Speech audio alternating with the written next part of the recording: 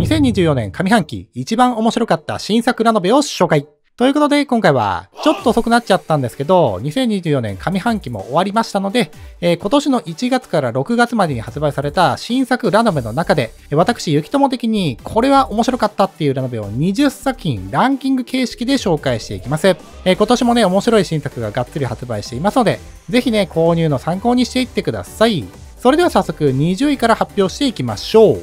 20位、地味なおじさん実は英雄でした。6月ラストに発売した現代ダンジョンファンタジーがギリギリでランクインしてきました。今アニメも放送している義妹生活の三河ゴースト先生の新作なんですけど、やっぱりね、三河先生はトレンドを抑えるのうまいですね。まあ、ダンジョンができた現代日本で、冴えないおっさん主人公がストレス発散をしながら圧倒的な力で無双するっていう設定と、ダンジョン配信的な要素も絡んできますので、まあ、トレンド要素マシマシな感じです。勘違いコメディもしっかり面白いですし、全体的な完成度も高いので、まあ、現代ダンジョンもので何か面白いものを読みたいっていう人は、安心して手に取っていいと思います。え19位、小鳥ゆうちゃんは打ち切り漫画を愛すぎている。えこの作品はね、古き良き部活ダベリ系の作品ですね。まあ、気負わずに読めるのが良かったです。え漫画家志望の高校生と打ち切り漫画を熱烈に愛している女子高生がぐだぐだと他愛もない話をしていくっていうのがめちゃめちゃ心地よかったです。打ち切りあるある的なネタもありながら、地味にラノベに対するメタネタなんかもあって、そこも面白いポイントでしたね。まあそれと物語終盤で予想外のオチがついていたりと、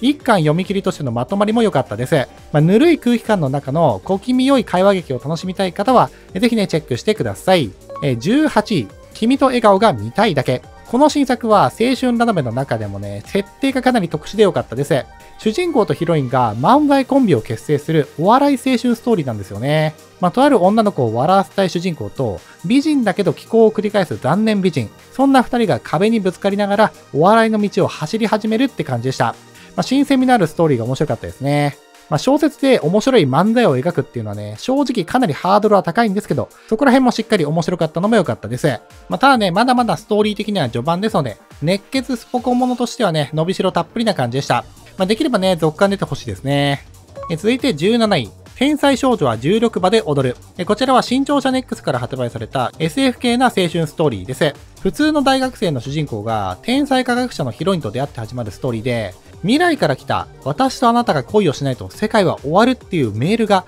主人公を事件に巻き込んでいくって感じです。未来とメールっていうとね、シュタインズゲートとかを思い出す人も多いと思うんですけど、この小説は世界規模の問題ではなく、いい意味で意外とね、こじんまりとした規模感になっていて、青春ストーリーとしてのまとまりがね、すごく良かったです。まあ、未来から来たメールをきっかけに、偏屈なヒロインと距離を近づけていくラブコメ展開が面白かったです。えちなみに作者のね、小野わさび先生は、もともとゲームシナリオをメインに活動していまして、ノベルゲームとして評価の高い、白十夢の青写真の原作を手掛けたりもしています。まあ、今回が商業小説デビューっていうことですので、まあ、今後も注目の新人作家ですね。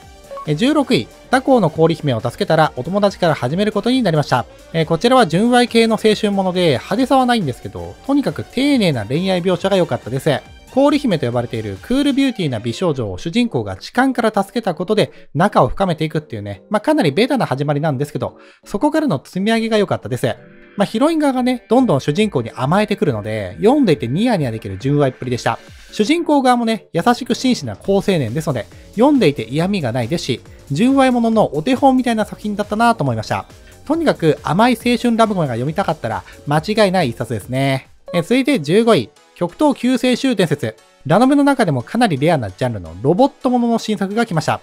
イラスト担当はロボ作品でおなじみの黒銀先生ですし、かなり気合が入った新作です。ストーリー的にはね、悪魔と人間が戦いを続ける近未来 SF になっていて、軍学校に所属する主人公が試作機のテストパイロットになったことで、がっつり活躍していく展開が面白かったです。それとね、世界観はかなりシビアなんですけど、主人公がなんかこう、お気楽というか、脳天気というか、そういうね、重さのない感じですので、意外とね、読みやすいっていうのもいいポイントでしたね。まあ、主人公が乗るロボットも、4足歩行のピーキーな機体でかっこいいですし、かなりいい新作ロボ作品が来たなって感じでした。まあ、ラノベではね、相当少ないジャンルですので、えー、ロボ系が好きな方はチェックしてください。えー、14位、セピアセパレート復活停止。こちらは SF 系のアクションサスペンス作品です。なんか改めて自分は SF 作品がね、結構好きなんだなって感じしますね。まあ、この作品はね、3D バイオプリンターと記憶のバックアップ技術が発展した近未来が舞台で、人間が死んでも蘇ることができるっていう、なかなか重厚な設定になってます。まあ、そんな世界で全人類の記憶のバックアップが凍結する事件が発生。まあ、ただのエンジニアだった主人公が、その犯人に仕立て上げられてしまうっていうね、ミステリテイストな展開となっていきます。敵も味方もわからない状況でのサスペンス展開にもなって、ハラハラ感もしっかり味わえました。まあ、一冊としてのまとまりもかなりいいので、SF が好きな方にお勧めしたい新作です。え続いて13位。美少女フィギュアのお医者さんは青春を治せるかタイトルが独特なんですけど、割とド直球な青春ストーリーが楽しめた新作です。まあ、フィギュア作りが得意だけど、過去の経験からトラウマを抱えている主人公と、まあ、とある問題を抱えているヒロインが出会って、フィギュア作りを通じて距離を近づけていく青春展開となっています。まあ、ヒロイン周りがね、ちょっとね、突飛な設定なんかもあるんですけど、割とまっすぐな青春のすれ違いが描かれていますので、バランス感覚がとてもいい新作でした。あとね、ヒロインの一人にギリシャ系美少女のセレーネっていうキャラがいるんですけど、この子がね、作品のバランサーとして素晴らしかったです。まあ、おそらく一番人気のキャラでしょうね。それとフィギュア作りを描くクリエイターものとしても楽しめたので、そこもおすすめなポイントです。まあ、クリエイター青春ラドムが読みたい人は、チェックしてみてください。え続いて12位。放課後ファミレスでクラスのあのこと。こちらも青春系のラノベですね。家庭に訳ありな高校生の男女がファミレスでダブりながらお互いの癒しになっていく、いい意味でぬるい関係性が素晴らしかったです。まあ自分が気負わずにいられる相手がただ隣にいてくれるっていうことの大切さが描かれていて、丁寧なストーリー展開が魅力的でした。若干ね、共依存的な関係性にもなっていくので、そういうジャンルが好きな人もハマりそうですね。すでに2巻まで発売しているので、落ち着いた青春ラノベが読みたい人は、1巻2巻の手に取っちゃってください。え続いて12位、汝若騎士として、こちらはがっつり異能バトル要素のある新作ファンタジーです。え超常現象を引き起こす情報師と呼ばれる存在がいる世界で、様々な陰謀が渦巻くダークな展開が面白かったです。え帝国から逃避行するヒロインと、それを守る主人公っていうシンプルな関係性から始まり、実はその裏でね、様々な策謀が動いていたっていう裏側の展開も読み応えバッチリでした。何よりね、終盤の激アツバトル展開は、中二心くすぐられるすごい展開でしたし、バトルファンタジーとしての面白さはね、ここ最近ではトップクラスでした。まあ、続刊も決まっているようですので、え今後の展開にも期待です。えー、ということで、20位から11位まではこのような結果となりました。こうしてみるとね、青春ストーリーや現代ダンジョンもの、SF やロボット、バトルもありで、結構色々なジャンルが入ってますね。まあ、なかなかね、いいラインナップになったんじゃないでしょうか。そしてここからね、トップ10を見ていきましょう。第10位、白き帝国。え、とある飛空シリーズの犬村黒木先生の最新作。これはもうね、超度級の本格戦記ファンタジーって感じで、読み応えの塊みたいな作品でした。まあ、石族が生きる異世界を舞台に、8つの頂上の力をめぐって起きる戦争描写が圧巻の一言。戦記ファンタジーとしての魅力もたっぷりありますし、かなりね、ダーティーな展開があったりと、ヘビーすぎる内容が最高でした。まあ、犬村黒木先生の作品としては、ファンタジー色は結構強いので、まあ、とある飛空シリーズとか、プロペラオペラというよりかは、やがて恋するビビレインの方が近い印象ですかね。まあ、一巻時点ではね、ストーリーはまだまだ序章で、まあ、壮大なプロローグって感じでしたので、まあ、そこでね、少し評価が下がるというか、まあ、これからに期待が持てる一巻でした。まあ、最新の2巻がね、発売したばかりですので、えここからが本番でしょう。え第9位、少女生還漂流記。え、惑星を旅する二人の少女を描く SF 旅系なストーリーです。え、作者は竜殺しのブルーンヒルドシリーズを手掛けた上がり崎優子先生ですね。え、今回は連作短編形式の旅系ファンタジーで、いろいろな不思議な星を二人の少女が旅をしていくって感じです。訪れる星それぞれに特徴がありますし、変な星ばかりなので、それがまた面白いんですよね。まあ、短編形式なので、スルスル読めるっていうのも個人的にはかなり良かったです。まあ、電撃文庫の旅系ラノベだと、絹の旅がありますけど、それとはまたね、違った面白さがあって、甲をつけがたい内容でした。まあ、すでにね、2巻まで発売していますので、旅系ファンタジーの新機軸として、えー、長く続いてほしいシリーズです。えー、続いて第8位。凡人転生の努力無双。魔と呼ばれるモンスターが存在している現代日本を舞台に、ふつま市の一族に転生した主人公が圧倒的才能を見せていくバトルストーリーが楽しめます。主人公の無双系作品ではあるんですけど、しっかり修行シーンが入りますし、魔法の理論的な部分もね、オリジナリティがあって面白いので、ただの無双ものでは終わらない自力の高さを感じました。バトルシーンもね、しっかり熱い展開多いですし、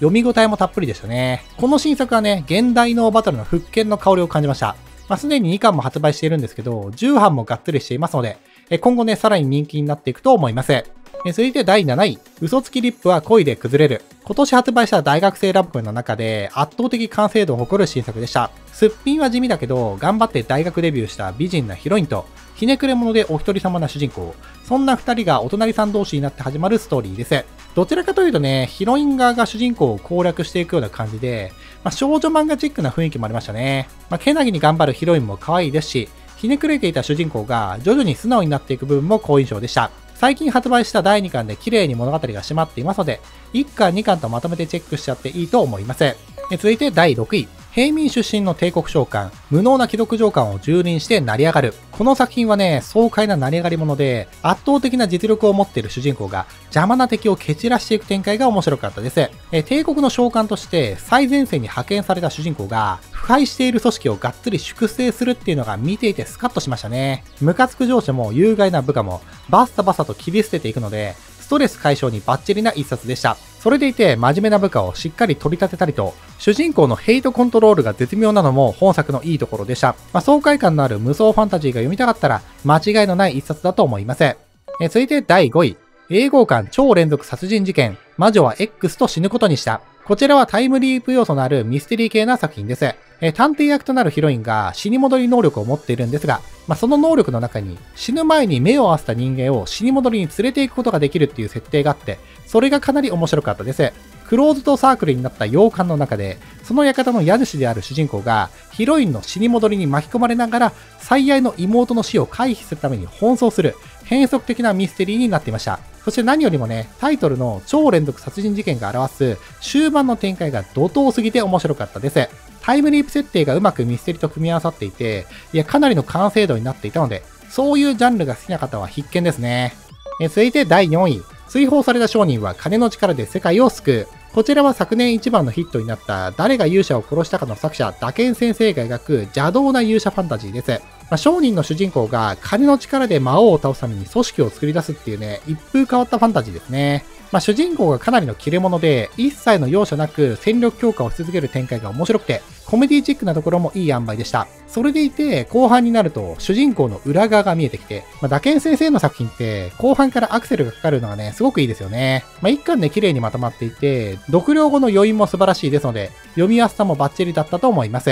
え続いて第3位。神様のいるこの世界で、獣は人の夢を見る。こちらはかなり重たい設定のダークファンタジーですね。人間が罪を犯すと神の罰によって体が異形化してしまう世界観で、貴族と咎人の格差と差別を描いていくかなり暗い雰囲気の作品になってました。主人公は生まれつき体の一部が変異していて、そのせいで罪なき罪を背負って生きているんですが、そんな彼が一人の幼い少女を拾ったことから腐った世界に抗う革命が始まっていきます。この作品ね、終盤の展開に賛否がね、結構分かれるなとは思っていて、決して綺麗なハッピーエンドではなかったです。ただね、その分作品のテーマ性が強くなっていて、完成度が段違いでしたね。重厚なダークファンタジーが読みたい方は、ぜひとも手に取ってもらいたい一冊です。え続いて第2位、林道の乙女、私の中で永久に光る。え電撃小説大賞の大賞を受賞してメディアワークス文庫から発売した本作、応募作4467作品の頂点にして最大の問題作っていう触れ込みだったんですけど、いや、その看板に偽りなしな内容でした。まあ、夜な夜な会議をもてなす裏の仕事をしている家を舞台に、一人の少女が恐怖体験をしていく和風ホラー的なストーリーですね。ただね、ネタバレ厳禁なタイプの作品で多くを語ることができないんですけど、とにかく終盤の展開が予想外すぎました。いろいろな違和感が散りばめられていた序盤から、どんどん世界観が変容していく展開が面白かったです。いや、上半期の中で一番の衝撃を味わったのは、この作品でしたね。まあ、ネタバレを見ちゃう前にぜひとも読んでもらいたい一冊です。そして2024年上半期一番面白かったラノベはこちら。第1位、この物語を君に捧ぐ。いや、上半期の新作の中でね、一番感動したのはこの作品でした。えかつて天才小説家として活躍した男子高校生と、編集者を目指す女子高生のヒカイン。そんな二人が出会い、一緒に創作活動をする中で距離を近づけていく、クリエイター青春ストーリーでした。ただこちらもね、中盤から終盤にかけて、ヒロイン周りで色々な設定が明かされていって、いや、そこが本当に切なくて魅力的な作品でした。まあ、クリエイター小説としての完成度と、青春ものとしての完成度、どちらも完璧と言っていい出来だったと思います。やっぱりクリエイター要素のある作品ってね、面白さがぐぐっと高まりますよね。まあ、エンディングに関しても、ご都合主義で終わらない、絶妙な塩梅だったのも、個人的にはかなり良かったです。まあ、一巻でね、綺麗に完結していますので、青春小説で面白いものが読みたいっていう人は、この機会にぜひとも読んでもらいたい一冊です。えー、ということで、2024年上半期の新作ラノベ10位から1位まではこのような結果となりました。こうしてみるとね、まあ自分ごとながら結構読み応えのある作品を選んでるって感じがしますね。特にトップ3はね、カロリーの高い作品が揃っていません。やっぱり一冊としての満足度を考えると、こういうね、がっつりとした作品を上位に選びがちかもしれませんね。まあ、どの作品もね、掛け値なしにお勧めできる新作ですので、未読の作品があればぜひ読んでほしいです。えー、ということで今回は2024年上半期新作ラノベトップ20をお届けしました。うちのチャンネルではね、ラノベ関連の動画たくさんアップしていきますので、ぜひこの機会にチャンネル登録していってください。それではまた次の動画で会いましょう。またね